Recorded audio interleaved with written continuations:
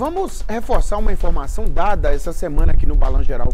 O Hemocentro de Governador Valadares precisa de doadores de sangue. A instituição informa que amanhã, conhecido como sábado, dia 6 de janeiro de 2024, o Hemocentro vai funcionar para atender os doadores. Olha que notícia boa, ó. O atendimento será de 7h30 às 11 da manhã. Então, dessa forma, a Fundação Hemominas na cidade orienta os doadores que entrem no endereço eletrônico. É porque tem que agendar antes, né? Pantera vai colocar pra gente, ele vai, Pantera.